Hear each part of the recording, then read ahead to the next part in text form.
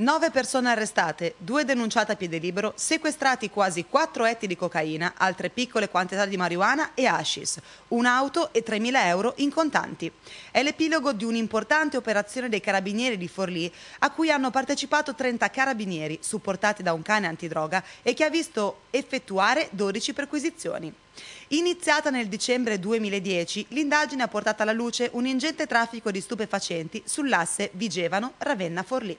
Seguendo il tragitto della droga, i militari erano arrivati lo scorso gennaio ad arrestare il presunto capo dell'organizzazione, un cittadino macedone di 36 anni, bloccato a Vigevano mentre ritirava un pacco con 330 grammi di cocaina. Con lui c'era anche la convivente, una romena, denunciata a piede libero. Le successive indagini hanno portato all'arresto di due italiani 36enni, uno residente a Ravenna, l'altro a Forlì, e di un albanese di 30 anni residente a Forlì. Individuati anche altri due giovani forlivesi per i quali è scattato l'obbligo di dimora. Per tutti l'accusa è, vario, è a vario titolo di detenzione ai fini di spaccio di sostanze stupefacenti.